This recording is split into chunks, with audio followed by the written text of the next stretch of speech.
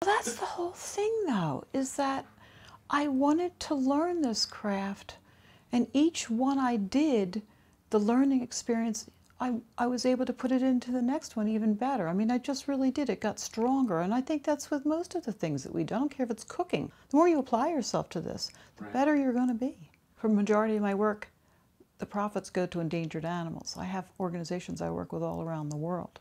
So it's funny when I tell my husband I'm doing, he goes, uh, "This one's going to the wolves. This is going to the Wolf Federation." I'm like, "Yes." How about this one? Snow lions. Oh yeah, that's going to the World Federation Snow Lions.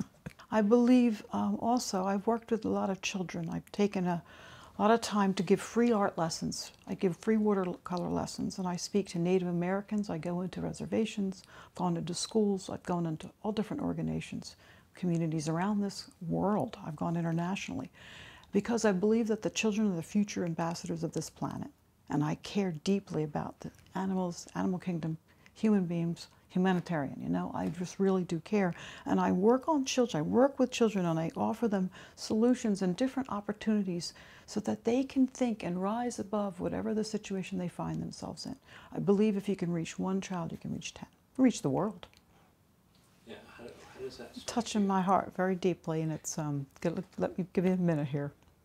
I'm thinking of one woman in particular. She was an amazing woman. She was a person that rescued many animals and just opened her home. And she purchased a white lion painting I did to help the white lions because of her heart. And she was just this person that was um, a huge light that just helped so many. And she sent me the picture and told me it was in a special spot in her home, and she showed it to me. And I just, I just remember the first time I looked at that. And here I was just designing these. I don't know. I thought my artwork was, I thought it was nice, and I was happy for it. But when I realized that it meant it was her connection for almost like a reward to herself that she had a piece of my art in her home to always remind her of the work that she's doing. It, it symbolized something for her, and that really touched me deeply. And it was was when I when it really when it really started. I started to understand that my work was almost like a it was like a healing for some people. It was it was really helping them because she needed she needed a little something for her, and that and she chose my art. So I, I thought that was incredible.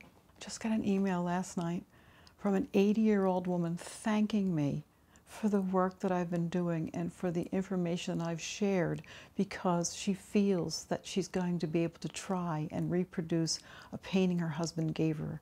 And she wants to do it in textiles now that she's seen my work and seen my how to. And she said to me, Lorraine, you've taught me that's never, I'm never too old to learn. That is the, that you can't get a blue ribbon or a paycheck to match that. That is gold.